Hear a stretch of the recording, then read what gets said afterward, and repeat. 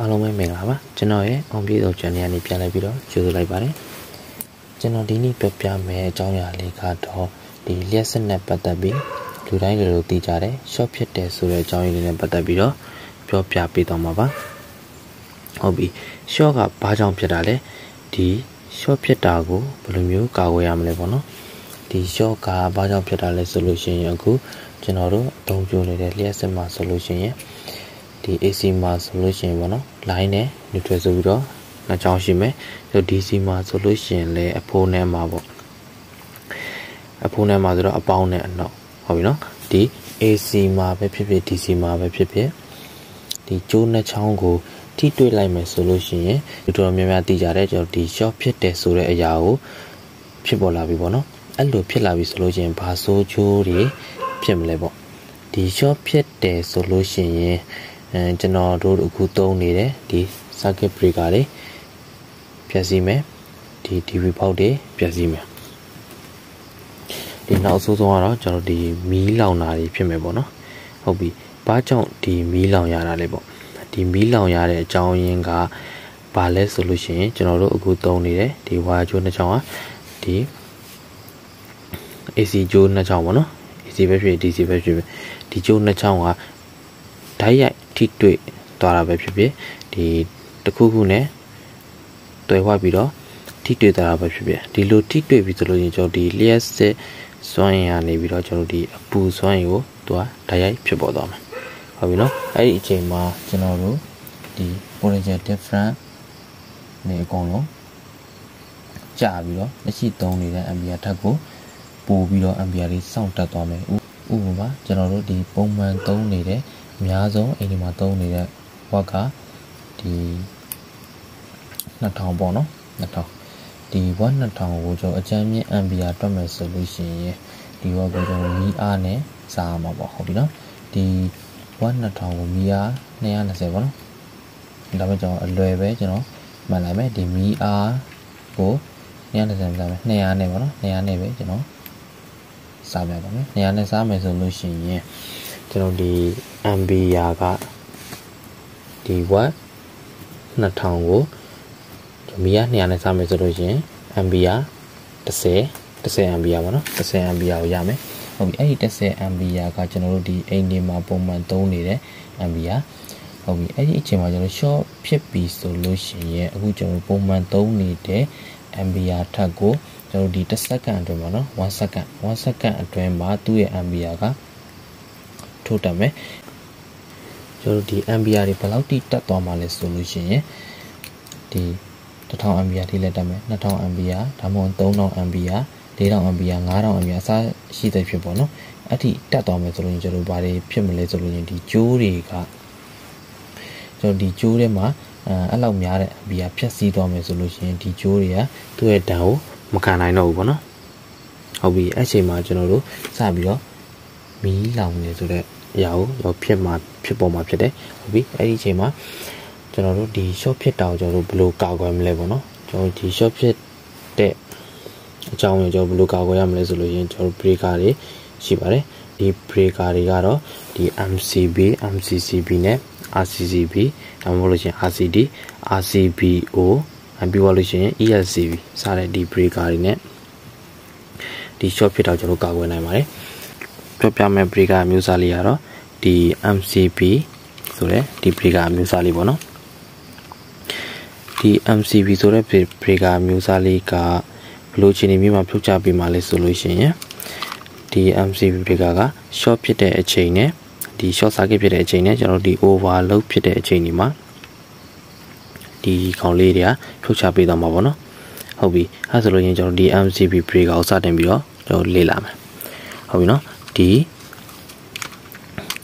ဒီ1ပို့နဲ့2ပို့ပေါ့နော်ဒီ1ပို့နဲ့2ပို့မှာဆိုလို့ရှိရင်ကျွန်တော်ဒီမှာသူပေးထားတဲ့ level လေးရှိတယ်ဟုတ်ပြီနော်ဒီ level လေးတွေကိုသိနားလဲထားဖို့ကအရေးကြီးပါတယ်ဟုတ်ပြီအဲ့ဒါဆိုလို့ရှိရင်ကျွန်တော်ဒီမှာအရင်ဆုံးသူပေးထားတဲ့ဒီနာမည်လေးပေါ့ SH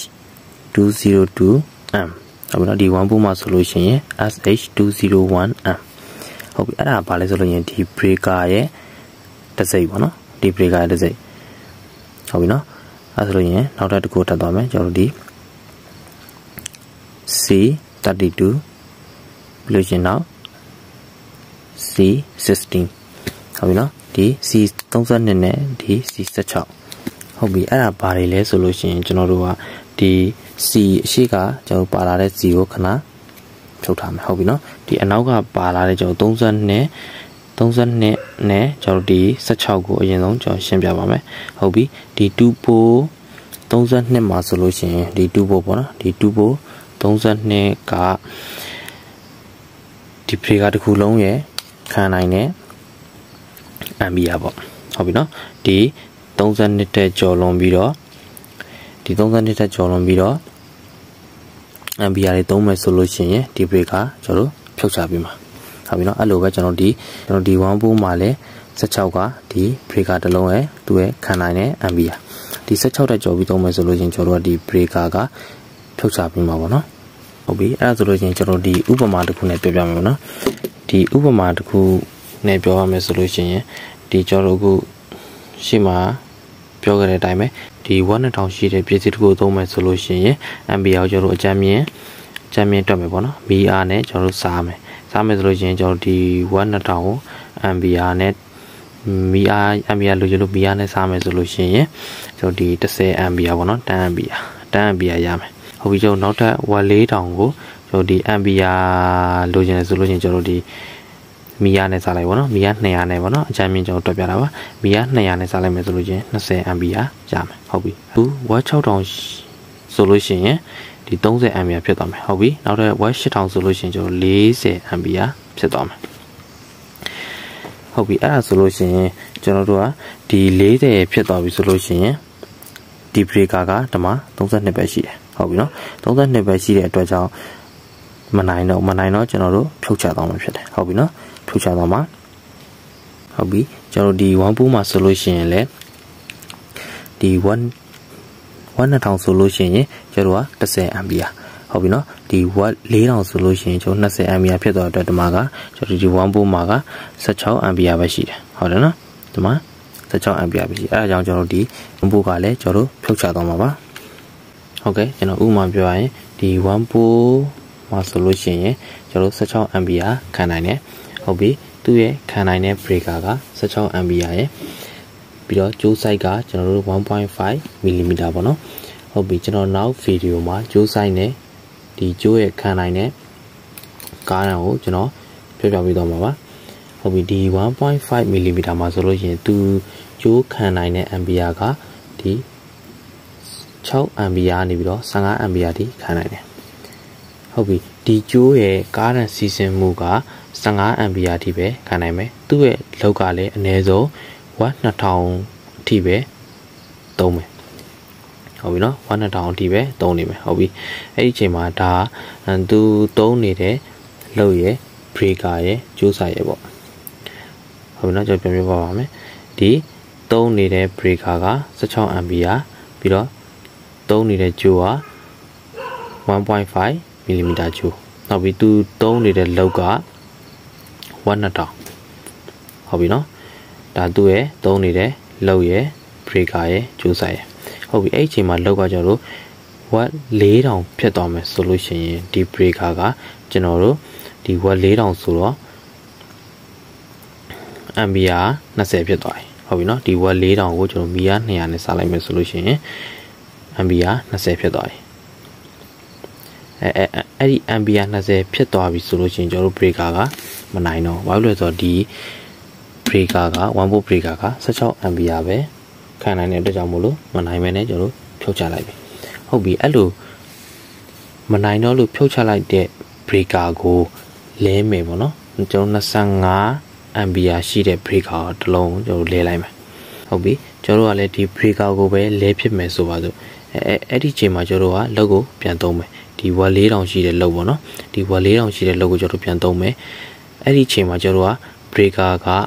25 ampere ခံနိုင်တဲ့ breaker ကိုသုံးထားတဲ့အတွက်ကြောင့်မလို့လုံးဝသူကြမှာမဟုတ်တော့အဲ့ဒီချိန်မှာကျွန်တော်ပထမသုံးထားတဲ့ကြိုးစိုက်က1.5 mm ဟုတ်ပြီနော်ဒီ1.5 mm ရဲ့ခံနိုင်တော့ကဒီ6 ampere နေပြီးတော့15 ampere ဒီပဲသူကခံနိုင်တယ်လို့ပြောထားတယ်ခံနိုင်တယ်ဟုတ်ပြီအခုဒီလောက်ကဝက်၄တောင်ဖြစ်သွားပြီဆိုတဲ့အတွက်ကြောင့်မို့လို့အ မ်ဘီယာကကျွန်တော်ဝက်၄တောင်ကိုမီယာ200နဲ့စားလို့ရှင်20ဖြစ်ပြီဝက်၄တောင်ကအမ်ဘီယာ20ဖြစ်သွားပြီအဲ့လိုဖြစ်သွားပြီဆိုလို့ရှိရင်ဒီမှာလှုပ်ဆွဲတဲ့နှုံးကလှုပ်ဆွဲတဲ့နှုံးကိုကျွန်တော်ဒီ breaker ကခံနိုင်ပေမဲ့ကျိုးကကျွန်တော်မခံနိုင်တော့ဟုတ်ပြီနော်ကျိုးကမခံနိုင်တဲ့အတွက်ကြောင့်မို့လို့ကျွန်တော်ဒီကြာလာလို့ရှိရင်ကျိုးတွေပူလာမယ်နောက်ဘာတွေဖြစ်လာမလဲဆိုရင်ကျိုးတွေကပူလာပြီးတော့အေးပြောလာနောက်ပိုင်းမီးလောင်တဲ့ အဖြစ်ကိုကျွန်တော်တို့ရှောက်သွားမှာပါအဲဒါကြောင့်ကျွန်တော်တို့ကဒီ low side တွေပြောင်းသွားပြီး breaker တွေပြောင်းသွားပြီဆိုလို့ရှိရင်သူ့ရဲ့ load ကိုနိုင်မလားမနိုင်ဘူးလားဆိုတာကိုအရင်ဆုံးကြည့်တင်တယ်တကယ်လို့မနိုင်ဘူးဆိုလို့ရှိရင်ကျွန်တော်တို့လဲပေးရမှာပေါ့နော်အဲ့ဒီနေရာမှာကျွန်တော်တို့ကကြိုးက4 mm ကြိုးကိုလဲပေးလို့ရှိရင်အသင့်တော်ဆုံးဖြစ်ပါတယ်ဟုတ်ပြီအဲ့ဒီကျွန်တော်တို့ဒီ4 mm ကျိုးနေရာမှာကျွန်တော်2.5သုံးမယ်ဆိုလို့ရင်ကျွန်တော် breaker site ကဘာဖြစ်သွားမလဲဆိုလို့ရင်20 MB อ่ะလောကကျွန်တော်ဝတ်3000အထိပဲသုံးဝင်ရှိမယ်ဟုတ်ပြီနော်အဲအခုကျွန်တော်တို့ဒီနောက်မှာရှိသေးတယ်ကျွန်တော်အခုနပြောခဲ့တဲ့ breaker က20 MB อ่ะပေါ့နော် breaker 20 MB อ่ะကျိုး site က2.5 mm ဆိုလို့ရှိရင်သူကားရန်ကဒီ2.5မှာဆိုလို့ရှိရင်ကားရန်စီစဉ်နိုင်တဲ့နှုန်းက15 MB နေပြီးတော့ကျွန်တော်22 MB တိရှိတယ် အဲဒါကြောင့်ကျွန်တော်တို့ကဘယ်လိုအသုံးပြောမလဲဆိုလို့ရှိရင် wire ကြိုး side wire side ပေါ့နော်ဒီ wire side greater than breaker side greater than load အဲအဲ့လိုပုံစံနဲ့သုံးမယ်ဆိုလို့ရှိရင်ကျွန်တော်ဒီအန်ရကင်းကင်းရှင်းရှင်းနဲ့အသုံးပြုနိုင်မှာဖြစ်တယ်ပေါ့နော်ဟုတ်ပြီအဲ့လိုမျိုးထားတဲ့အတွက်ကြောင့်မလို့ကျွန်တော်တို့ဒီ MCB breaker တွေကဒီ classic shop ဖြစ်တယ်ဆိုတော့အခြေအနေကိုကျွန်တော်တို့ကြိုတင်ပြီးတော့ကာကွယ်ပေးသွားနိုင်မှာပေါ့နော် ဟုတ်ပြီအဲ့ဒါကြောင့်ကျွန်တော်တို့ဒီဒါကိုကျွန်တော်တို့ဘယ်လိုအသုံးပြုမလဲဆိုလို့ရှိရင်ကျွန်တော်ဒီ wire side ကိုအရင်ဆုံးကြည့်ရပါမယ် wire side ခန္ဓာရင်ရှိမှာကျွန်တော်ဒီ breaker side တွေလုတ်တွေသုံးရတာအဆင်ပြေမှာဖြစ်တယ်ပေါ့နော်ကျွန်တော်ဒီ wire side ခန္ဓာရင်မရှိဘူးဆိုလို့ရှိရင်ဒီကျွန်တော်လုပ်ငန်းခွင်တွေမှာသုံးမယ်ဆိုလို့ရှိရင်အဆင်ပြေတယ်မဟုတ်ပါဘူးကျွန်တော်အန်ရဖြစ်ဖို့များပါတယ်ဟုတ်ပြီကျွန်တော်ဒီရှေ့မှာကျွန်တော်ထားခဲ့တဲ့ဒီမှာပေါ့နော်စီလေးပေါ့ ဒီစီကဘာကိုပြောတာလဲဆိုလို့ရှိရင်ဒီစီကဘာကိုပြောလဲဆိုလို့ရင် तू က tripping type ပေါ့နော်ဒီ tripping type က starting current ရဲ့ခံနိုင်စွမ်းကိုခေါ်တယ်ဟုတ်ပြီနော်ဒီ tripping type တွေမှာဆိုလို့ရှိရင်ကျွန်တော် B type ရှိတယ် C type ရှိတယ် D type ရှိတယ် K type ရှိတယ် Z type ရှိတယ်ဟုတ်ပြီနော် B type မှာဆိုလို့ရှိရင်ကျွန်တော်၅စားကနေအဲ B type မှာ sorry B type မှာဆိုလို့ရှိရင်ကျွန်တော်၃စားကနေ၅စားထိခံနိုင်တယ် starting ကားတာနေပေါ့နော်ဒီ C type မှာဆိုလို့ရှိရင်5စားကနေ10စားထိခံနိုင်မယ် D type မှာဆိုလို့ရှိရင်10စားကနေအစား20ထိခံနိုင်မယ်ဟုတ်ပြီ K type မှာဆိုလို့ရှိရင်8စားကနေ12စားထိခံနိုင်မယ် Z type မှာဆိုလို့ရှိရင်2စားကနေ3စားထိခံနိုင်မယ်ကျွန်တော်ဒီမြန်မာနိုင်ငံမှာသုံးတာဆိုလို့ရှိရင်တော့ BCD ပေါ့နော်အသုံးမျိုးကတော့ကျွန်တော်သုံးများတယ်နောက်ထပ် K နဲ့ Z နဲ့ရတော့ရှားတယ်ပေါ့နော်မသုံးကြဘူးပေါ့နော်ဟုတ်ပြီ နောက်ဗီဒီယိုမှာကျွန်တော်ဒီ တိုက်တွေကိုတခြားလေးရှင်းပြပေးသွားပါမယ်ဟုတ်ပြီကျွန်တော်ဒီနောက်တစ်ခုကကျွန်တော်ဒီမှာပေါ့နော် C30 နဲ့ C16 ပြီးသွားပြီဆိုလို့ချင်းကျွန်တော်နောက်တစ်ခုကဒီမှာအကွေးလေးနဲ့ပေါ့နော်အကွေးလေးနဲ့400ပို့ပါတယ်ဒီဘက်မှာကျတော့အကွေးလေးနဲ့230မြင်းဆောင်400ပို့အဲ့လိုပြထားပါတယ်အဲ့ဒါဘာဘာလဲဆိုလို့ချင်းကျွန်တော်တို့ဒီ 400ဘို့မှာလည်းအသုံးပြုနိုင်တယ်ပြီးတော့ဒီ230ဘို့မှာလည်းအသုံးပြုနိုင်တယ်ဆိုတော့ညလေးကိုရေးထားတာပေါ့နော်ဟုတ်ပြီကျွန်တော်ဒီအောက်မှာရေးထားတယ်ဒီမှာတထောင်တထောင်လို့ရေးထားရနော်ဒီမှာတထောင်ဒီမှာလည်းတထောင်ဟုတ်ပြီနော်ကျွန်တော်ဒီ breaker တွေ short ဖြစ်မယ်ဆိုလို့ရှိရင်အဲ့လို short ဖြစ်ပြီဆိုလို့ရှိရင်ပေါ့နော် ampere တွေကကျွန်တော်ထိုးတက်သွားမယ်ထိုးတက်သွားပြီဆိုလို့ရှိရင်ဒီ တက်လာတဲ့ ampere တွေကပေါ့နော်3000 4000 5000 6000အစရှိသဖြင့်စပြီးတော့သူတက်တက်လာမယ်ပေါ့နော်ဒီ breaker တွေက1000 ampere ဒီကိုသူခံနိုင်နေဆိုတာကိုပေးထားတာကျွန်တော် short ဖြစ်ပြီဆိုလို့ရှိရင် ampere တွေထိုးတက်လာတယ်ဟုတ်ပြီနော်အဲ့ဒါကိုကျွန်တော်တို့က1000ထိ1000 ampere ထိကိုခံနိုင်နေဆိုတော့သူကပြထားတာပေါ့နော်ဟုတ်ပြီဒီ1000 ampere တဲ့ကြော်ပြီးတော့တက်ခဲ့မယ်ဆိုလို့ရှိရင်တော့ ဒီပြန်သုံးဖို့ကတော့အဆင်မပြေတော့ဘူးပေါ့နော်ဒီဒီ breaker ကြီးပြည့်စည်သွားမယ်ပေါ့နော်ဟုတ်ပြီဒီ1000 ampere အောက်ပဲတက်တယ်ဆိုလို့ရှိရင်ဒီခုနကျွန်တော်ပြောခဲ့တဲ့3000 4000 5000 6000 9000 8000 9000အဲ့လောက်ထိတက်မယ်ဆိုလို့ရှိရင်တော့ကျွန်တော်ဒီ short ဖြစ်တာကိုကျွန်တော်ပြန်ပြီးတော့ပြုတ်ပြန်ပြီးတော့ကျွန်တော်ဒီ breaker ကိုအတင်ချပြန်လုပ်ပြီးတော့သုံးလို့ရှာပါတယ်အဲ့ဒါကိုပြထားတာပါဟုတ်ပြီကျွန်တော်ဒီနောက်အောက်မှာပေးထားတယ်နံပါတ်3တွေ့လား တထောင်အောက်မှာနံပါတ်3လေးရေးထားတယ်ဒီ1ပို့မှာလည်းအဲ့လိုပဲတထောင်အောက်မှာဒီနံပါတ်3လေးရေးထားတယ်